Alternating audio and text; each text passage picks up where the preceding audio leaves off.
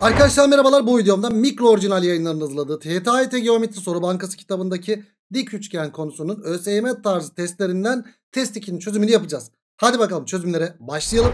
Dik üçgen verilmiş 4 ve 7 sayıları var ve bizden x isteniyor. Arkadaşlar iki tane Pisagor var mı karşımızda? Evet bir burada var bir de büyükte var. Şuraya ben bir y diyecek olursam e burası da y. Sarıdaki Pisagor'dan bir denklem geliyor. Öbür büyükteki Pisagor'dan bir denklem daha geliyor. İki bilinmeyen iki denklem çözümü yapılabilir. Ama benim tavsiyem neydi? İkili dik üçgenlerde ortak olan kenar varsa yalnız bırakın. Evet x'e y'lik dik üçgen ve x'e 2y'lik dik üçgende şurası 2y ya. Neresi ortak? Hocam x. x'i yalnız bırak o zaman. x kare neye eşittir arkadaşım? Bir şu sarı üçgende 4'ün karesi eksi y kareye eşittir. Bir de neye eşittir? x kare büyük dik üçgende 7'nin karesi eksi 2y'nin karesi de. 7'nin karesi eksi 2y'nin karesine eşittir. Her ikisi de x kare eşit olduğundan bunlar birbirine eşittir. E o zaman x kare yani işte bunlar birbirine eşit ya. 16 eksi y kare eşittir. 49 eksi 4 y kare yaptı. Attık öbür tarafa artı 4 y kare geçti. Eksi y kare de var. 3 y kare eşittir. 49 eksi 16 o da 33 yapıyor galiba. Y kare de buradan 11'e eşit oldu. Abi bizden x deniyor. E, uygula Pisagor'u. 4'ün karesi eşittir ya da x kare direkt eşittir. x kare neye eşittir? 4'ün karesi eksi y kareye eşittir. x kare buradan 16 eksi y kareyi zaten 11 bulmuştuk. Yani 5 yapar. y de buradan pardon x de böylelikle ne yapar? Kök 5 gelir. Evet cevap böylelikle birinci soruda Ceyhan çıktı. Geldik ikinci soruya. ABC dik üçgen DC bir eşkenar üçgen. Arkadaş şunu bir eşkenar üçgen vermiş. Eşkenar üçgen demeyle kalmasın. Hemen şöyle açıları yazalım. 60, 60, 60. Ama eşkenar tanımı sadece açı değil ki. Kenarların da eşitliğini yazalım kardeşim şöyle. Şunlar da birbirine eşit. E o zaman ne diyelim? Şuraya A diyelim, A diyelim, A diyelim. E ne yapacağız? 60 90 sa büyük üçgen bir 30 60 90 üçgen oldu. 30'un karşısı A artı 1 ise 90'ın karşısı 2A artı 2 olmak zorunda. 2A artı 2'ye neye eşittir? 5 artı A'ya. 5 artı A'ya eşitse eğer A buradan kaça eşit oluyor? 3'e. A yerine 3 yaz şimdi. A yerine 3 yazdığın zaman 6 burası 8 yapıyor. Burası da 3 yaptı. Sonra 30'un karşısı 3 bir daha 4 ise 60'ın karşısında 4 kök 3 mü? Evet. Bir de burada bir Pisagor paklar bizi.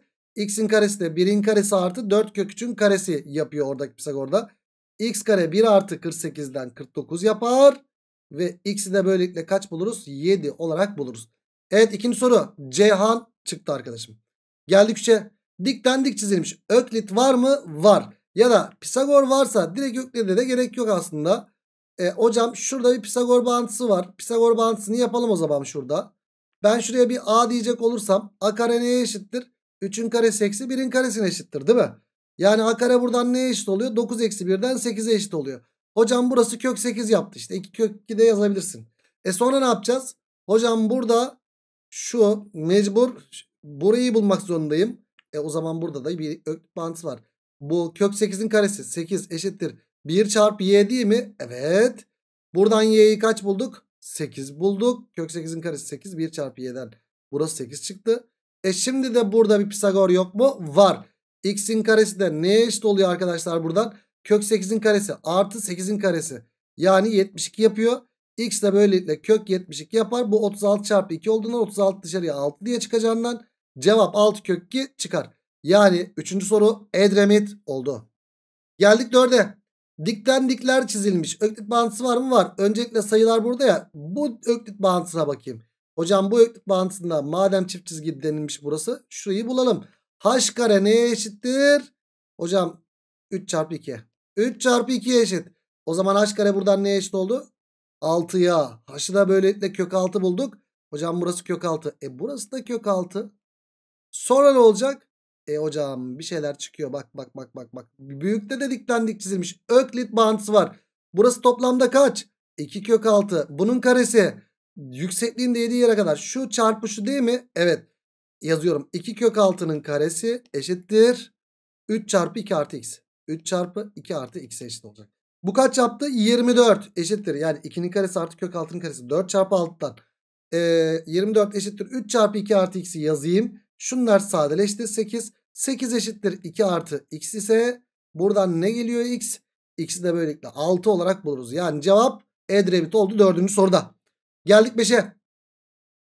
E hocam M kuralı var. E M'den dolayı ne olacaktır? 30 ile neyi toplarsan 90 yapar? 60 hocam. Bizden şu dik isteniyor. O zaman ben şuradaki diki çizebilirim kardeşim. Şuradan bir dik çizebilirim. Şu 60'ın mantığını kullanacak şekilde. Şuradan da bir dik 30'un mantığını kullanacak şekilde. Yani burada bir 30 60 90 üçgen çıktı. 90'ın karşısı 8 ise 30'un karşısı 4. E burada da 60 30 90 üçgen çıktı. 90'ın karşısı 4 kök 30'un karşısı kök 3'e yarısıdır. 2 kök 3'tür. 30'dan 60'a geçişte kök 3 katıdır. Yani burası da 2 kök 3'ün kök 3 katı kaç yapıyor? 3 ya 6 yapıyor. 6 yaptı. E bizden şu uzunluk isteniyor 10. Yani h'ı kaç bulduk o zaman?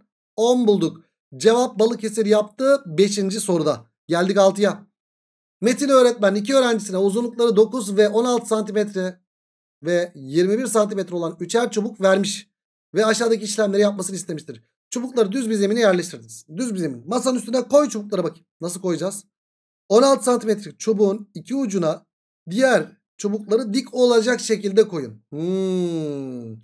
Şimdi 16'lık çubuğun iki ucuna. Nereye koyayım? Şöyle koyayım arkadaşlar. Yapacak bir şey yok. Şurası 16'lık çubuğu. Diğer iki çubuk 9 ve 21'liği koyacağım. Diğer uçlarına dik olarak koyun diyor. Bak şöyle. Ama hocam birini böyle koyduk birini böyle koyduk. Tam tersi olmaz mı? Biri aşağı doğru olmaz mı? Olabilir. Değil mi? Tamam. Dur bakalım soruyu okuyayım. Oluşturduğun şeklin iki ucunu arasındaki uzaklığı hesaplayınız. Öğrenciler işlemi tam ve hatası olarak yapmış ve farklı sonuçlar bulmuş. Tamam. Öncelikli olarak böyle koyarsak bir sonuç çıkıyor. Aşağıda da koyayım onu. Şu şekilde koyduğun zaman da farklı bir sonuç çıkıyor. Şöyle ve şöyle koyduğun zaman da farklı bir sonuç çıkıyor. Evet burası kaç? 16'lık çubuk 9 ve 21'di galiba değil mi? Yanlış hatırlamıyorsam. Evet 9 ve 21. Şurası 9 ve 21. Burası 16. Şurası 90. Güzel bir soru bu arada. 90 90. Çubuklar arasındaki mesafe işte bu uzunluk ve bu uzunluk. iki farklı sonuç çıkmış. Arkadaşlar şu uzunluğu bulmak için 90 dereceye karşılık getireceğim. Hop şöyle 90'a karşılık getirdim. Dikdörtgen ile hocam 9 ise 9 16 ise 16 buraya ne kaldı 12. 12 16 20 bir tanesi 20'yi buldu. Öbürüne gelelim hocam dikdörtgen yapalım. Hop şöyle alt tarafta yaptım istersen üst tarafta yap. 24 ise 24 16 ise 16 şurası toplam kaç yaptı? 24 artı 9 ya burası 21'di pardon burası 30 yaptı o zaman. Şurası 21 30 yaptı burası 30 ve 16 özel üçgen var mı? Var. Hocam 30 ve 16'da burası 2'nin 8 katı. Burası 2'nin 15 katı. 8, 15, 17. Burası da 2'nin 17 katından 34 mu olacak? Evet. Yani cevabı bir de 34 bulduk. Bizden ne isteniyor? 20 ile 34'ün farkları isteniyor arkadaşlar. 34 eksi 20'den cevap kaç çıkacaktır? 14 çıkacaktır. Yani cevap böylelikle Denizli yaptı 6. soruda. Güzel bir soru. Tam da ÖSYM'lik bir soru arkadaşlar. Evet 6. soru Denizli oldu. Geldik 7'ye. Aşağıdaki şekilde bir nehrin iki yakasını birleştiren bir köprünün taslak çizimi verilmiştir. Evet köprünün taslak çizimi bu şekilde. Oo. Bu köprünün yolu gergin çelik kablolar ve ikizkenar dik üçgenler oluşturacak biçimde kule üzerinde ana kabloya bağlanarak sabitlenmiştir. Bunların hepsi ikizkenar dik üçgenmiş arkadaşlar. Yani 45 45 90 üçgen. Hepsini yazmama gerek yok. Tamam. Sonra burayı 80 vermiş. Hocam şu ikizkenar. Şimdi kulenin yüksekliği 80 olduğuna göre köprünün yol uzunluğu nedir? Şuradaki uzunluk isteniyor. Arkadaşlar 80 ise 80'i kök 2'ye böleceğim. Böleyim işlem yani fark edin. Şurada kök 2 ile çarptım. 80 kök 2 bölü 2'den 40 kök 2. Hocam 40 kök 2 40 kök 2. Sonra bu da x kenardaki üçgen. Kök 2'ye böl. Hocam 40 40 kolay. Sonra 40'ı da burada şunları 40 40 buldum şöyle 40 40. Buradaki x kenardaki üçgenden de yine ne yapacağız arkadaşlar? 40'ı kök 2'ye böleceğim. 40 bölü kök 2 40 kök 2 bölü 2'den 20 kök 2 yaptı. Burası da 20 kök 2. E 20 kök 2 ise x kenardaki üçgenden bunlar 20 20 yaptı. Hocam 20'yi de kök 2'ye böleceğim. 20 bölü kök 2 de kök 2 eşleniyle çarparsam 20 kök 2 bölü 2'den 10 kök 2 yaptı. 10 kök 2 10 kök 2 e, 10 kök 2 şunlar 10 kök 2 olacak pardon. 10 kök 2 10 kök 2. Burada da kök 2'ye böldüğüm zaman şuradaki değerlerde 10 10 mu geldi? Evet. Şimdi dikkat buraya kadar kısım 40 20 ve 10 70. Aynı simetriyi burada da yok mu? 80 ise kök 2'ye bölünmüş hali. Hocam 40 kök 2. Sonra bunlar 40 40 yaptı. Sonra 20 kök 2 x kenardaki üçgenler. 20 20 yaptı. Bunlar da e, 10 kök 2 yaptı. Burası da 10 10 mu yaptı? Evet. Burası da aynı şekilde 70 çıkıyor ve toplamda bu köprünün uzunluğu soruluyor bize. Cevap böylelikle 140 yaptı. Kaçıncı soru? 7. soru Akçay oldu. Geldik 8'e. Şekil 1'de zemine dik bir direğe vidalanmış ABC dik üçgeni biçimindeki levha görülmektedir. Bu levha B köşesindeki vidanın çıkması sonucu A köşesi etrafında dönerek şekil 2'deki konuma gelmiş. Tam kenar ortay konumuna gelmiş. Bu arada burası 6 burası da 9 15. Buraya kaç kalıyor bu arada?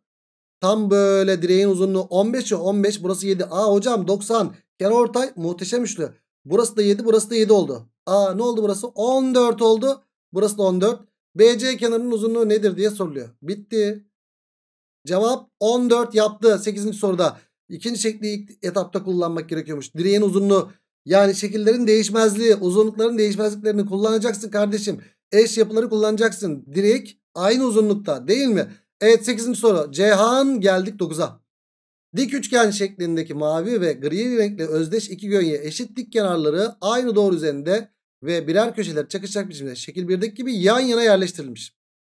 Daha sonra gri gönye A köşesi etrafında bir miktar döndürülmüş. BCD doğrusal olmuş. Şöyle. Tamam. Bu gri gönye kaç derece döndürülmüştür? Arkadaşlar dönme açısı ne yapıyor? Bak dönme açısı önceden bu zemindeydi şurası. Hatta bu tam buraya gelmişti. Bunu böyle döndürdüm. Hop buraya mı denk geldi? Evet. Yani bize şuradaki dönme açısı soruluyor mu? Soruluyor. Bunlar özdeş iki gönye miydi? Evet. Özdeş iki gönye. Arkadaşlar özdeş iki gönye ya. Dikkat et şimdi. Senin şuradaki uzunluğun yani özdeş iki gönye. Bunun uzun kenarı ile bunun uzun kenarı aynı mı? Aynı. E hocam buradaki döndürmeden dolayı hop bu buraya kalem döndürdüğün zaman aynı kalem. Hep söylüyoruz. Hocam burası da eşit değil mi? Evet. Ve adam sana soruda ne vermiş bir de hocam B, C, D doğrusal demiş. Bu dik üçgen ya 90 derece. Burası da 90 derece. Ana şurada bir ne çıktı dik üçgen. Ve 90'ın karşısı kaç burada? Hocam 90'ın karşısı 2K çift çizgi çift çizgi bunlara KK dersem 2K burası da K. 90'ın karşısı 2K hangi açının karşısı K'dır? 30'un. 30 90 sa burası da 60 ve bizden buradaki dönme açısı isteniyordu. Cevap böylelikle ne yaptı? Edremit yaptı arkadaşlar. Evet 9. soruyu Edremit bulduk. Hoş bir soru. Güzel bir soru. Geldik 10. soruya. İdil mavi, kırmızı ve turuncu renkli 3 çubuk kullanarak farklı üçgenler oluşturmuş. Bir böyle bir de böyle. İdil çubukları şekil 1'deki gibi ucuca eklediğinde bir dik üçgen elde etmiş. Kırmızı çubuğun uzunluğu 8. Tubuncu, tu, tubuncu, turuncu çubuğun 7 birimini kestikten sonra ha, 7 birimini, birimini kesmiş. Burası x'ken Burası x artı 7 arkadaşlar. Çünkü turuncunun 7 birimini kesip buraya koymuş.